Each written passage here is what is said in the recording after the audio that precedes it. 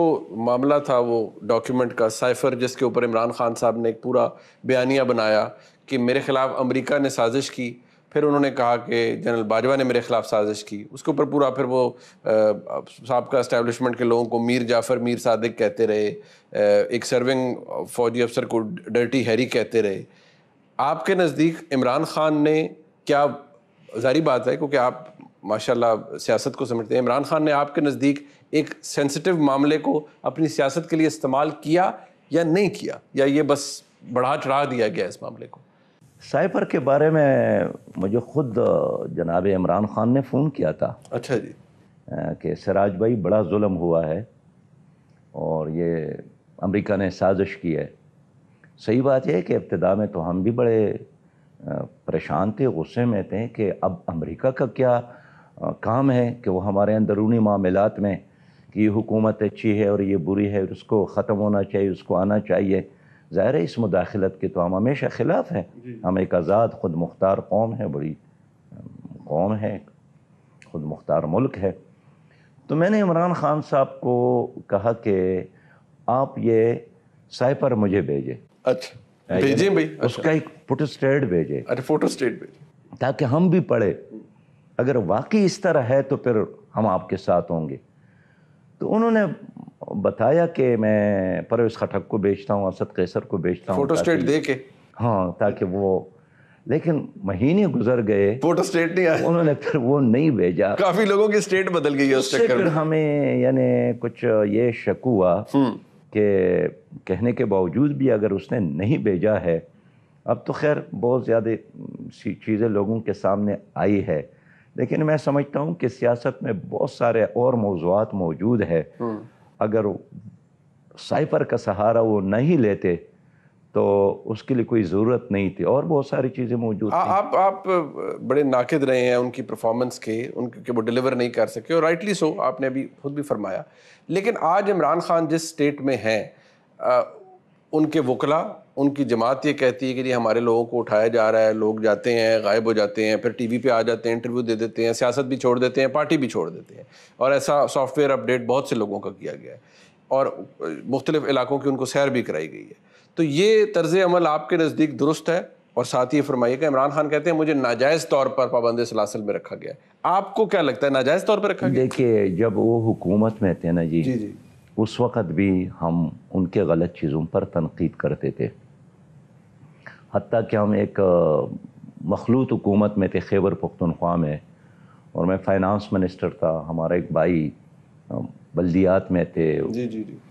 उस वक़्त भी जिस चीज़ को हम मुनासिब नहीं समझते थे हमने कभी इतफाक़ नहीं किया। मैं ये कहना चाहता हूँ कि जो लोग डायरेक्ट जराइम में मुलविस नहीं है तो महजी सियासी वाबस्तगी पर किसी को उठाना जेल में डालना प्रेशराइज करना ये इंसाफ के मुताबिक हम नहीं समझते हैं। अगर कोई उस मामले से रिलेटेड नुसान नौ मई खातन जियो फेंसिंग में आ जाती हैं किसी की ऑडियो मौजूद है कोई बुला रहा है कोई भेज रहा है उनके ऊपर अगर कानून के तहत कार्रवाई होती है उसमें तो आपको एतराज़ नज़र नहीं आता। मुनीब भाई ये कानून तो ऐसा नहीं है कि मर्दों के लिए औरतों के लिए भी है। ठीक अगर आपने कानून सिर्फ़ मर्दों के लिए ख़ास किया तो एक इक्यावन फ़ीसद हमारे यहाँ तो खातन है वो तो जिंदाबाद हो गए। बिल्कुल इसका मतलब यह है कि बस वो चोरी करे तो इजाज़त है वो किसी को कत्ल करे इजाज़त है फिर क्या होगा? उन्हीं को फिर इस्तेमाल करेंगे। जिस तरह नाबालिग बच्चे पर कोई हम्म। आप उसको वो सज़ा नहीं दे सकते जो बालिग। लेकिन हम यही चाहते हैं कि कानून नाफिज करे। ज्यादती ना हो किसी के साथ। हाँ, किसी के साथ ज्यादती ना हो। और हमारा कानून यही है कि जो जुर्म में मुलविस नहीं है तो सिर्फ़ सियासी वाबस्तगी की बुनियाद पर किसी पर हाथ उठाना ये नाजायज़ है। अच्छा बड़ी बेहतरीन असलाह आपने इस्तेमाल की बल्कि मैं समझता हूँ व्यूअर को भी अच्छी लगी होगी कि आपने कहा कि वो इस्टेब्लिशमेंट का फीडर है या दूध की बोतल है जो कि हर जो हर कोई उसका मुतमनी है। आजकल उस उस फीडर के मज़े कौन ले रहा है? देखिए हमारा आलम यही है कि जब पीटीआई की हुकूमत ख़त्म हो गई या ख़त्म की गई अच्छा इस पे आपको शक है कि ख़त्म हो गई या ख़त्म की गई? मैं अब भी मैं इस पे बात वो तहरीक अदम अतमाद के तहत हुई थी। ज़ाहिर बात है ये जो जिन लोगों ने अतम अतमाद किए तो पाँच साल उनसे मौजूद थे ना जी और इसी तदाद में थे। अच्छा जी। हाँ। लेकिन मैं आपसे फिर कहूँगा कि पीटीआई की हुकूमत के ख़ात्मे के बाद भी पीटीआई का मुतालबा ये नहीं था कि इस्टेबलिशमेंट गैर जानबदार रहे।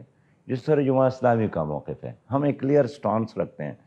कि इस्टेबलिशमेंट गैर जानबदार रहे इलेक्शन कमीशन गैर जानबदार रहे और अदलिया गैर जानबदार ठीक है ठीक है। इसलिए कि ये इदारे पूरी कौम के हैं। बिल्कुल आप ये नहीं कह सकते कि अदालत किसी पार्टी का है या इस्टेब्लिशमेंट किसी पार्टी का है या इलेक्शन कमीशन किसी पार्टी का है। और जब ये गैर जानबदार रहेंगे उतने ही ताकतवर रहेंगे और लोग इसको इज़्ज़त देंगे।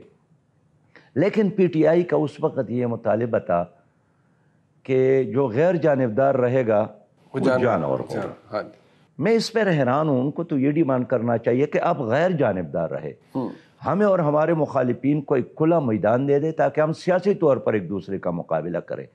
आज भी मैं यही कहता हूँ कि सियासत और जमहूरीत के istehकाम के लिए ज़रूरी है कि तीनों इदारे गैर जानबदार रहें। ये गैर जानबदार रहेंगे तो पाकिस्तान मज़बूत होगा लोगों का अदालतों पर अतमाद लोगों का इलेक्शन कमीशन पर अतमाद लोगों का इस्टेब्लिशमेंट पर अतमाद बढ़ेगा। पूरी पीडीएम ये कहती है कि एस्टेब्लिशमेंट गैर जानबदार हुई तो हमारा तरीके अदम अतमाद कामयाब होगा और इमरान खान को हमने निकाल दिया। खैर ये तो खुद जनाब शबाज शरीफ साहब का स्टेटमेंट मौजूद है तो आप भी उनसे इनकार नहीं कर सकते कि मैं तीस सालों से उसका चहीता हूँ। जी जी। और लेकिन उन्होंने बाद में ये भी कहा है कि मैं अगर चहीता हूँ तो मैंने कौन से लड्डू खा लिए हैं? मैं भी जेलें बर्दाश्त कर रहा हूँ। मैं यही अर्ज़ करता हूँ। देखिए मैं इतना ही कहूँगा कि अगर आज भी इस्टेब्लिशमेंट का सपोर्ट इन तीनों पार्टियों में से किसी पार्टी के साथ ना रहे वो सियासत नहीं कर ये धूप में कड़े होने के लोग नहीं हैं। ये एयर कंडीशन के एक ख़ास माहौल की सियासत करने के आदि है। लेकिन जब ज़ाहिर है। और मौलाना साहब सर ये फरमाइएगा ये बात आपने कहा ना कि ये धूप के अंदर नहीं खड़े हो सकते। पर आप देखें इमरान खान जेल में है नवाज़ शरीफ साहब जेल में रहे शहबाज शरीफ साहब जेल में रहे जरदारी साहब भी काट आए। तो रगड़े तो इन सबने खाए हैं। धूप चले का किसी ने कम किसी ने ज़्यादा। इमरान खान तो अभी भी बर्दाश्त कर रहे हैं तो रगड़े तो खा रहे हैं अपने अपने मुनीब भाई अगर आम पाकिस्तानी को पता चले ना कि किस तरह वीआईपी स्टार अ, अ, वो है फाइव। स्टार लाइफ है। जी जी। और वीआईपी प्रोटोकॉल है। और मीनू आप दे के और वहाँ रहने ये सारे मजदूर कल मुतालबा करेंगे कि हम सबको अडियाला जेल में डालें हम सबको कोटलखपत में डालें हम सबको कराची जेल में डालें। इसलिए मैं समझता हूँ कि इंसाफ होना चाहिए। नहीं वो दुरुस्त फरमाया आपने। मेरा सवाल मैं वैसे तो मैं दोहराना नहीं चाहता लेकिन at the risk of repeating myself मैं कहूँगा कि आज के, के हालात में आपने कहा कोई जमात इनको एस्टेब्लिशमेंट की सपोर्ट ना हो तो ये सियासत नहीं कर सकते। लेकिन अब इलेक्शन आने वाला है इलेक्शन के करीब हम जा रहे हैं। कौन सी जमात आपको एस्टेब्लिशमेंट के ज़्यादा करीब लग रही है इसमें? ये तो हालात बताएगा। इस वक्त तो एक निगरान हुकूमत है। जी। और निगरान हुकूमत ज़ाहिर है इस्टेब्लिशमेंट उसकी पुश पे है। अगर इस्टेब्लिशमेंट इस निगरान हुकूमत के साथ ना रहे तो मेरे ख्याल में वज़ीर अजम को कोई वज़ीर अजम हो उसमें पानी का गिलास भी नहीं देगा। इसलिए मैं अर्ज़ करूँ कि इस वक्त तो एक निगरान हुकूमत है निगरान हुकूमत को सालिस होना चाहिए गैर जानबदार होना तो आपके नज़दीक वो सालिस और गैर जानबदार है निगरान हुकूमत? नूरुलक साहब तो रोज़ कहते हैं कि हम गैर जानबदार हैं हम सालिस है लेकिन ये आइंदा आने वाला इलेक्शन ही बताएगा। इसलिए कि इस वक्त तो पंजाब में जो हुकूमत है वो भी एक लिहाज से पी डी एम की उस हुकूमत का एक तसलसल है। गवर्नर उसका है के पी के में गवर्नर जो इस वक्त करता धरता है वो पी डी एम का वो एक तसलसल मौलाना फजल रहमान साहब के साथ। मौलाना फजल साहब का अज़ीज़। अज़ीज़ है रिश्तेदार है पार्टी का लीडर है। तो हम जो चाहते हैं ना कि अगर ये लोग गैर जानबदार रहे सालिस रहे